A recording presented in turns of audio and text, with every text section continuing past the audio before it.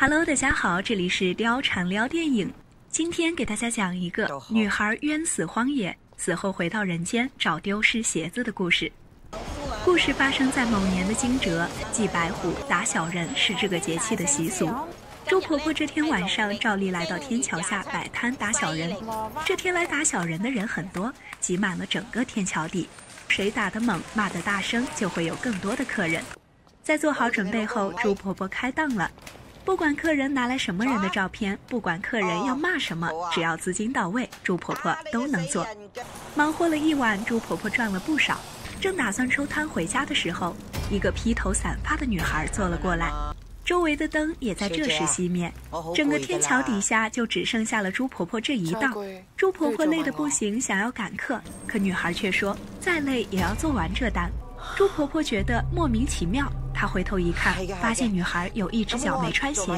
他突然想起了什么，连忙答应会做完他这单再收摊。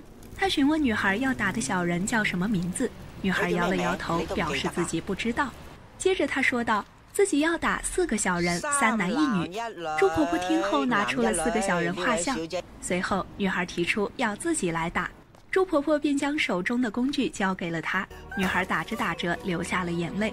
朱婆婆此时从工具箱里拿出了一只带血的鞋子，她告诉女孩穿上吧，穿上走得安心点。女孩这时接过鞋子，狠狠地打向四个小人。原来在某天晚上，朱婆婆收摊回家时遇到过这个女孩。她被自己的儿子和儿子的两个朋友抓上了车，三个禽兽轮流侵犯了女孩。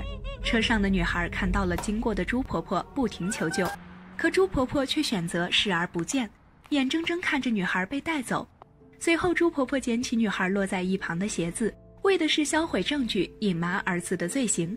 可怜的女孩在那晚过后被人发现惨死荒野。这件事上了各大新闻头条。当警察找到这里，询问朱婆婆最近有没有看到什么异常时，她装作什么都不知道。冤死的女孩十分不甘，于是，在惊蛰这天来找朱婆婆打小人。随着女孩越打越猛，那几个伤害她的人渣也遭到了报应。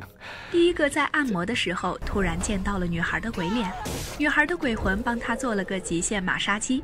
他便吐血死在了按摩床上。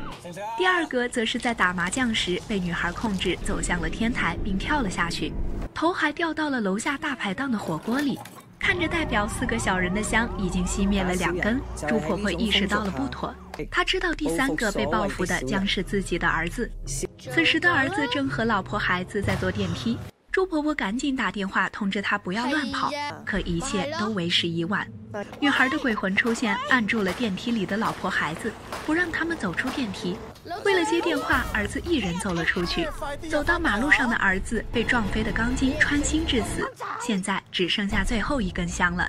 想必大家也猜到，它代表的便是朱婆婆。